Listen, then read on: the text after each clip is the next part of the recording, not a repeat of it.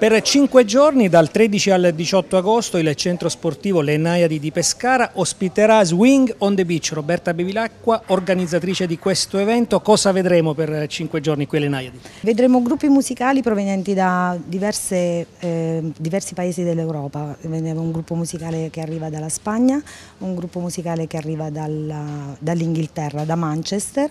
E sono gruppi musicali che eh, in esclusiva per noi per dello Swing on the Beach. Sarà un evento eh, da non perdere dedicato allo swing a 360 gradi con workshop, eh, con eh, bands.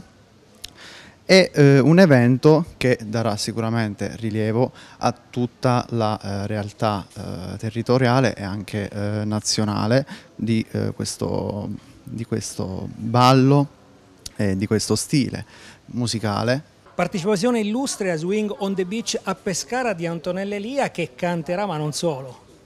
Beh, canterò e già è tanto, no nel senso non solo perché non, non, faccio altro, non mi esibisco, non faccio burlesque, canto swing e col maestro Carlo Capobianchi. E per me è un grande onore essere qui a questo festival, è il mio primo festival swing della vita.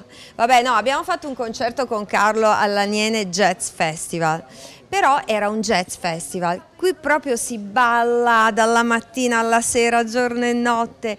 E ci avrò la sfida con Roberta, due grandi orchestre che si sfideranno e immagino centinaia, migliaia di ballerini che balleranno al suono della nostra musica, col nostro canto suave. Vorrei concludere dicendo, it don't mean a thing if you ain't got that swing, that's jazz. Yeah!